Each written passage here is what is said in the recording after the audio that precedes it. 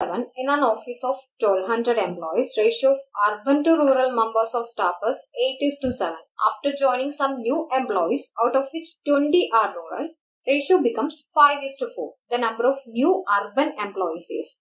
So, there were 1200 people in the office and out of which urban to rural ratio was 8 is to 7. That means 7 unit is rural and 8 unit is urban in the 1200 people.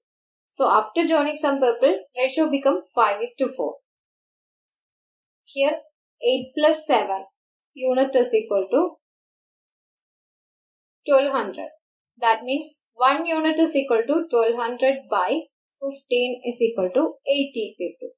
So here 7 unit is equal to 7 into 8, 80 that is 560.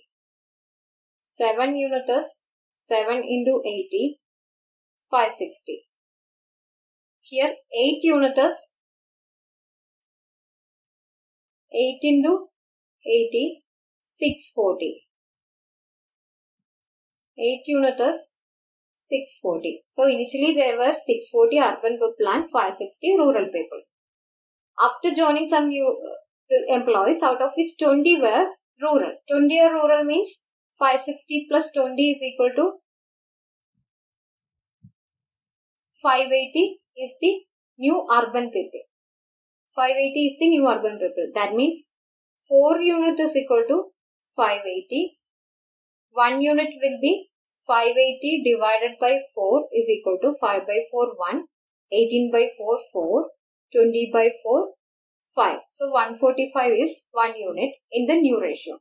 That means 5 unit is in the new ratio 5 unit is 145 into 5 that is 5 5s are 25 5 into 4 20 plus 2 22 5 into 5 5 into 1 1 plus 2 7 725 so initially there were 640 urban people. Finally there is 725 urban people.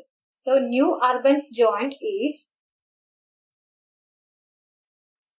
725 minus 640 is equal to 85. So option B is your answer.